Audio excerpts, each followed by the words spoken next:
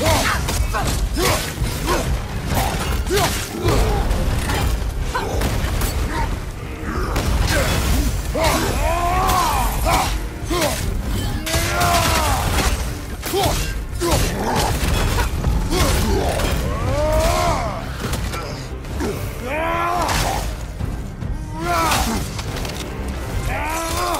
No